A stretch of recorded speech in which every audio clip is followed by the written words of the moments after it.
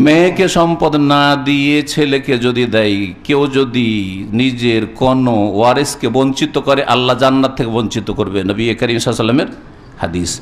যে জান্নাত থেকে বঞ্চিত হতে চায়, সে মেয়েদেরকে বঞ্চিত করবে।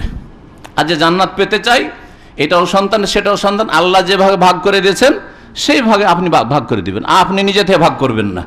আল্লাহ ভাগ করে দিয়েছেন, আপনার কোনো অধিকার নেই সেখানে হস্তক্ষেপ। যেইভাবে যতটা যাকে আল্লাহ দিয়েছেন, অতটা আপনি দিয়ে দিবেন। জি।